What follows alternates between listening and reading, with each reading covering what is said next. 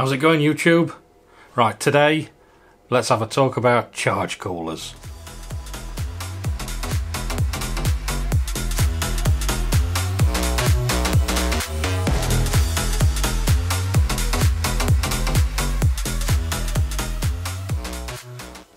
Okay, before I start, I just want to say a big thanks to everybody that's subscribed to this channel. A bit shocked by it actually. I, I'm mainly making these videos for myself because I like playing with the car, I like playing with cameras, I like playing with computers, uh, the, I find the editing interesting. So, but to see you guys subscribe to this channel, that's great, thanks. And we've got quite a good number of subscribers now as well. And anybody else that's watching these videos, please consider subscribing. Cheers. Right, today I'm having a look at the charge cooler. The main reason is because when I'm setting off, the last thousand revs of the rev range is the temperatures suddenly jumping up from 30 degrees to around 50 degrees, which is normally it's either insufficient cooling or the turbo's working too hard. So what we'll do is I'll get changed and we'll go and strip mine out. We'll have a look at it. Uh, there's two main types of charge coolers. Uh, what we'll do is I've got both types so we'll have a look at both of them. I'll explain the differences as best I can and the one I'm actually putting on is bigger but less efficient and I'll explain why. We'll have a look. Let's go. Right, before I take it out, let's have a quick look what we've got. So there we are, out of the turbo, into the charge cooler, through the charge cooler, out, round to the throttle body. Here we've got water coming in, passing through the radiator inside the charge cooler, and this one's water out into the header tank. I added a header tank because this system was a nightmare to, ble to bleed. So what I did was I had I added the header tank, and then all the air gets let out here. This is the highest point, and also it increases the volume of water in the system. The more water you can get in the system, the longer it'll take to heat soak. So what I'll do is we'll get all we'll get this off again, and we'll strip all this out, and then this we'll have a look at it on the bench with the side of the new one. I'll explain the differences, and let's have a changeover.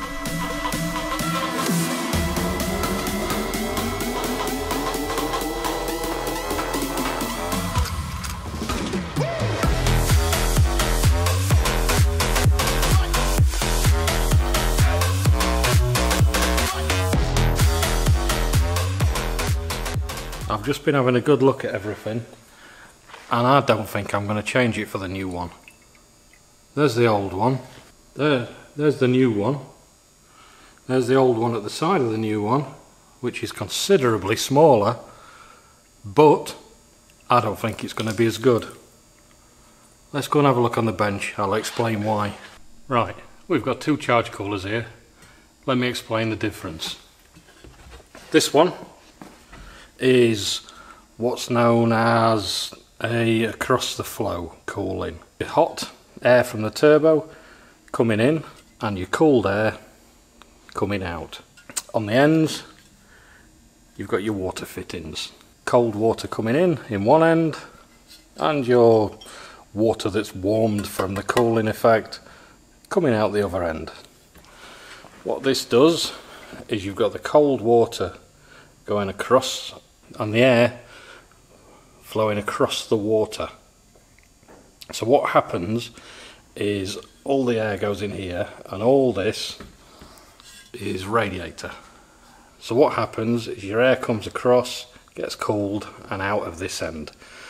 But what happens with this type is the water comes in cold there as it's going across the hot air the water's gradually getting warmer and warmer and warmer until it goes out this end. So what you find is the air going across this portion here is not getting cooled as efficiently as the air getting across this portion here. So the distance of cooling is literally this much, but this cooling here will be more than this cooling here. So this is quite inconsistent, the cooling.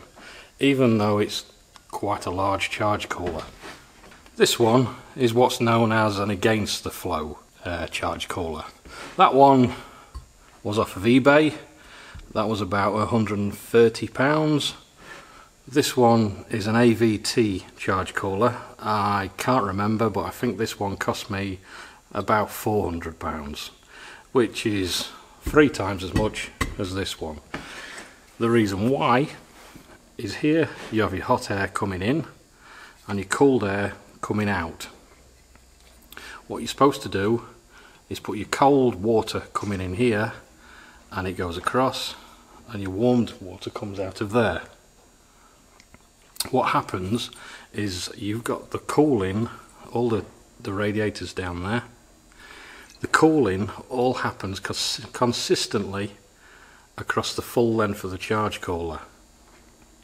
It, the cold water here hits the cool the air first which means it's more efficiently cooling because the water's colder, the air's cooler, it'll cool faster. As it gets to this end, the water warms up, the air warms up, but it's still cooling and it's cooling consistently along it.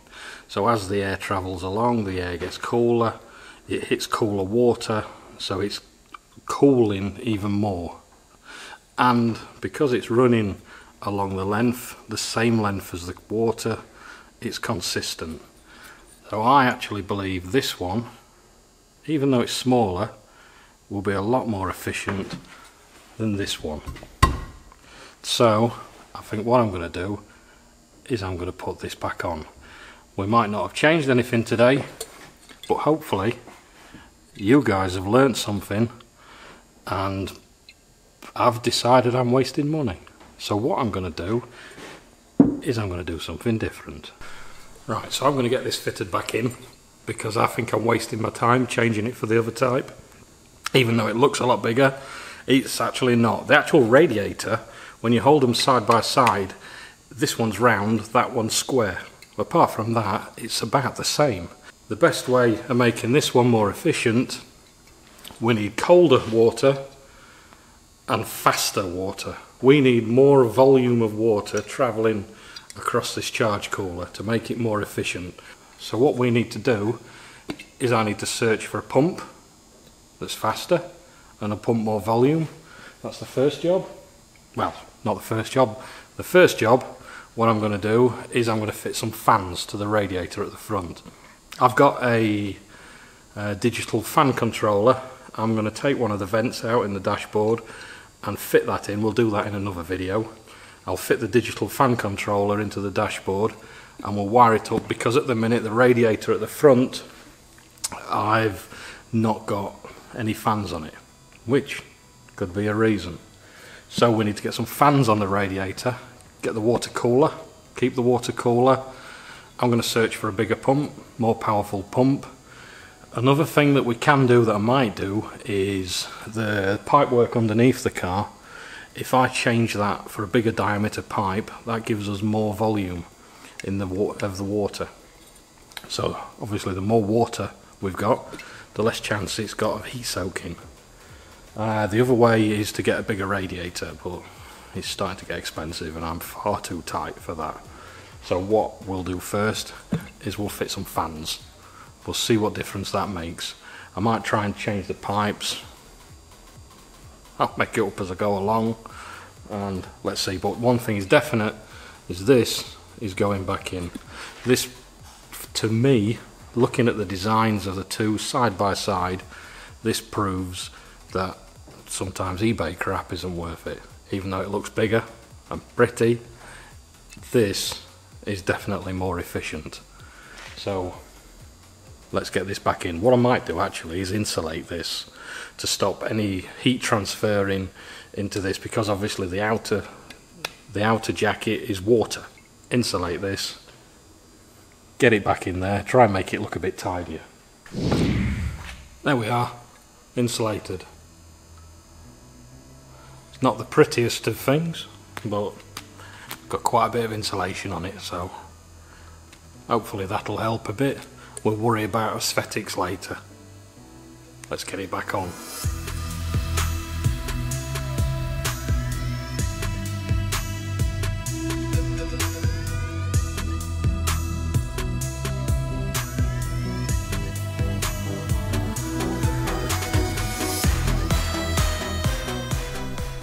Right, here we are all back together. This is actually the next day now because I was hungry, so priorities and all that. So let's have a look what I've done. Right, I've put the old charge cooler back in. I've insulated it. It kind of looks a bit weird. It looks like a giant bacon roll that's been put in there. I've changed all the piping actually. I've made the bit at the back shorter I've made this a bit longer and put a slight elbow in it so it it all goes around a bit smoother and this is a bit squarer now. I've changed this hose because this kept kinking. So I've used this like clear silicon hose. It's got a mixture of water and antifreeze in there. Uh, it looks kind of funky. It looks a bit like my water cooled PC at home. It's a bit weird but I think it looks alright and at least it's it's nice and flowing now. So that's all back together that's all running. I can't really go out and test anything because it's raining and I'll kill myself. I don't think actually this will make a great deal of difference to the temperatures anyway. So I think what we need to do next is the fan at the front and the temperature controller and we'll take it from there.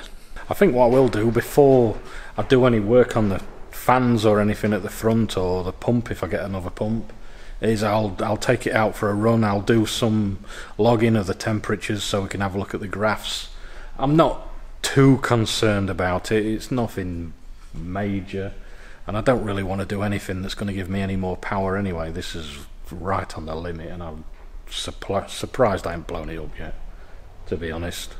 So we've not really achieved anything, but hopefully you guys have learned something and you can see the difference between a cheap eBay item and something of quality. These charge coolers that are in there, the AVT ones, they're not cheap, but you can see by the design they're a lot they're a lot more efficient. So I'll catch you next time. We'll do something else. I've got a couple of jobs I need to do, so we'll have a play. Catch you guys later.